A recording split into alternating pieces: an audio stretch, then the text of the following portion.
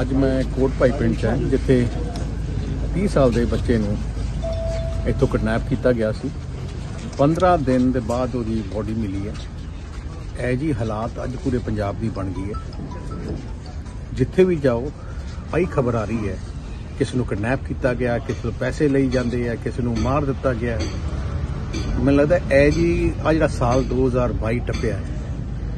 ਇਹ ਜਿਹਾ ਮਾੜਾ ਹਾਲ ਮੈਂ ਅੱਜ ਕੱਲ ਜ਼ਿੰਦਗੀ 'ਚ ਨਹੀਂ ਪੰਜਾਬ ਦੇਖਿਆ ਜਿੰਨਾ ਹੁਣ ਹੋਇਆ ਮੈਂ ਤਾਂ ਪਰਮਾਤਮਾ ਦੇ ਚਰਨਾਂ 'ਚ ਅਰਦਾਸ ਬੇਨਤੀ ਕਰਦਾ ਕਿ ਅਗਲਾ ਸਾਲ ਚੰਗਾ ਚੜੇ ਘੱਟ ਤੋਂ ਘੱਟ ਮਾਨ ਸਾਹਿਬ ਨੂੰ ਕੁਝ ਮਤ ਬਖਸ਼ਣ ਕਿ ਘੱਟ ਤੋਂ ਘੱਟ ਉਹਨਾਂ ਨੂੰ ਜਿੰਨੀ ਪੰਜਾਬ ਦੀ ਜਨਤਾ ਨੇ ਜਿੰਨੇ ਵੱਡੀਆਂ ਵੋਟਾਂ ਨਾਲ ਉਹਨੂੰ ਜਿਤਾਇਆ ਹੈ, ਘੱਟ ਤੋਂ ਘੱਟ ਆਪਣਾ ਫਰਜ਼ ਤਾਂ ਨਿਭਾਉਣ।